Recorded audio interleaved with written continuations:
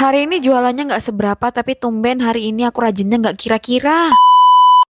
My Daily Life Part 295 Hari ini aku jualan seperti biasa tapi niatan awal tidak dikontenin guys. Makanya ini awal video udah langsung ngelayanin yang jajan aja nih. Seperti biasa ini ada penglaris aku si Kila sama si Ina ya. Nah habis itu ini ada yang beli pop ice nih guys. Jadi ini pop ice nya mau aku blender dulu bersama es batu. Terus di cupnya ini aku kasih topping cincau. Terus nggak lupa aku kasih mesesere sama kacang sangrai. Dan ternyata perlengkapan pop ice aku tuh banyak yang habis guys. Kayak pipet sama plastiknya. Karena memang yang jajan pop ice di aku tuh agak lumayan jarang kurang gitu guys. Jadi aku kayak kurang merhatiin gitu. Kalau perlengkapannya tuh banyak yang habis dan hukum alamnya tuh kayak gini. Giliran kita tuh nggak ada persiapan. Malah banyak dibeli sama orang heran. Kayak ini nih sebenarnya cincau aku tuh tinggal dikit banget. Tadinya udah kepikiran mau aku tuangin semua kan. Ke pesanan yang sekarang tapi nggak jadi. Belum lagi nih kacang sangrainya juga habis. Tapi syukurnya sih aku udah ngomong dulu sama yang beli. Sempat minta maaf juga kalau pipetnya nggak ada asoynya nggak ada toppingnya juga berkurang. Dan untungnya sih mereka pada legowo. Terus aku sempat bikin pesanan minuman juga. Habis itu ini aku masuk ke dalam rumah karena aku mau bikin bakso bakar guys. Seperti biasa ini aku mau cuci tangan dulu pakai sabun biar bersih karena mau mentolin bakso gitu ya. Jadi ini sekarang tinggal aku pentolin dulu. Maaf banget ya guys. Kali ini aku mentolinnya nggak pakai sendok takar lagi. Aku pakai tirisan kayak gini biar sekali cetak tuh langsung dapat 5 pentol guys. Karena aku terinspirasi dari video orang yang lewat pas dia lagi bikin bakso. Pas aku lagi bikin bakso ternyata ada lagi nih yang beli pop ice guys. Jadi aku sempat cuci tangan dulu terus ini aku lanjut bikin bikinin pop ice-nya. Sadar gak sih dari tadi yang dibikin tuh minuman melulu, bakso bakar, cilok, sama sempol, belum ada yang keluar kandang. Tapi ya nggak apa-apa Bismillah siapa tahu makin sore nanti makin rame yang beli. Nah ini untuk pop ice-nya sudah aku kasihkan ke yang punya. Terus yang punya juga minta beli cilok 2000 ya udah kita buat. Akhirnya keluar juga dari toples ya kan. Udah selesai nih aku mau kasihin ke yang beli terus aku mau kasih kembalian juga. Habis itu aku mau masuk lagi karena baksonya ini belum aku cetekin kompornya. Terus